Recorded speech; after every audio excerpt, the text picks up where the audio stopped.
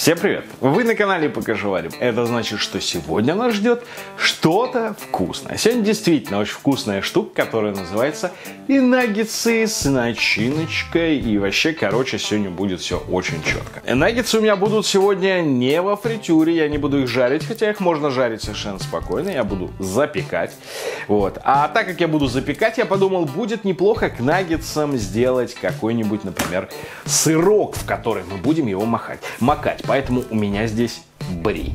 Я хочу сделать наггетсы с начинкой, как я и сказал, не будет там никакого сыра, я сделаю ароматное масло и кусочки замороженного ароматного масла буду добавлять внутрь наггетсов. Это будет клево.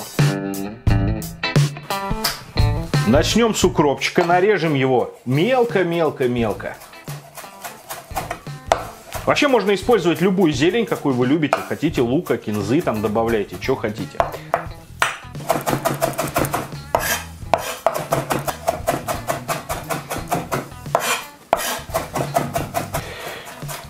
Чесночок. Можно через чеснокодавку, не зазорно, а можно и нарезать миленько. Я сразу чеснок в траву, потому что им вместе жить дальше.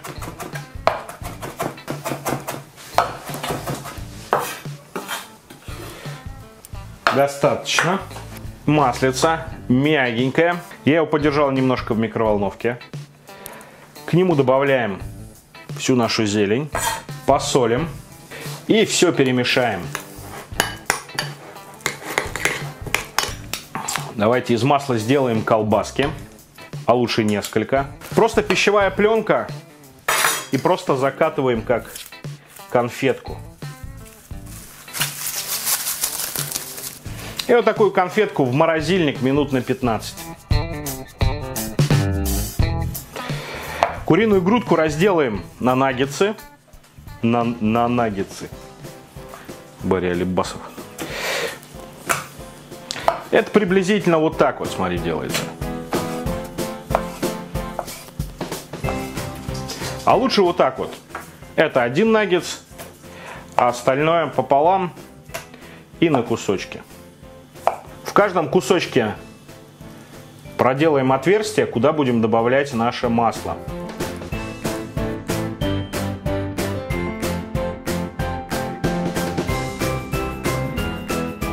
Нарезаем масло маленькими брусочками.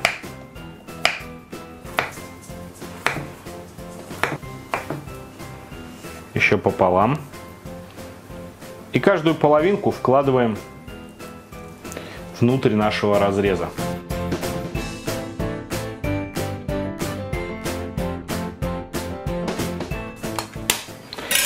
Делаем стандартную тройную панировку. Яйцо, панировочные сухари и мука. Немножко посолю, чтобы не было пресно. Панировочные сухари я смешиваю, это у меня тертый пармезан. Если его нет, то не обязательно. Но так будет гораздо вкусней. Саму готовую курочку тоже немного посолите.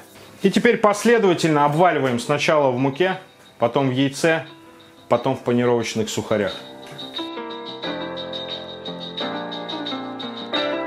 И выкладываем в форму.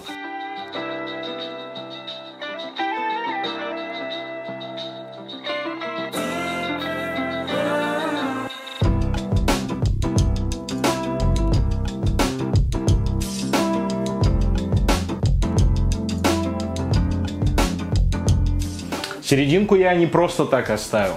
У меня есть сыр бри, который очень классно запечь. Можно камамбер использовать. Это сыры с белой плесенью. Они, когда запекаются, они становятся плавленными, и в них офигенно макать что-нибудь. Кладем в середину в первозданном виде. Наггетсы отправляются в духовку минут на 20 при 180 градусах.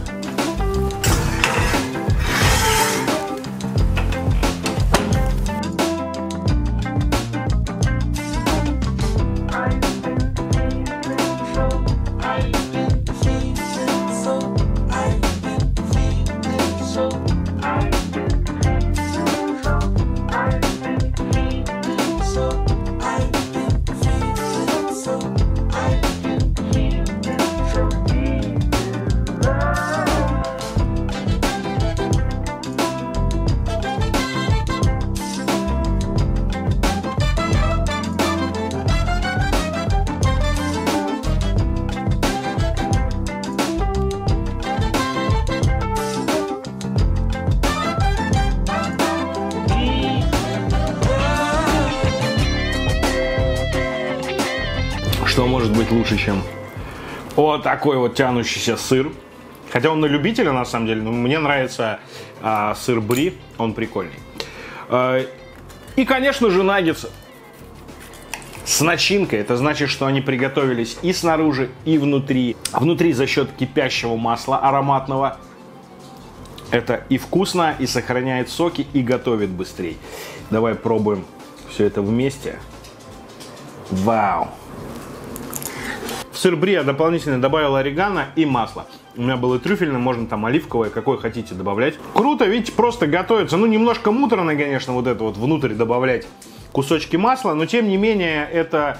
Э, боже мой, как это прекрасно.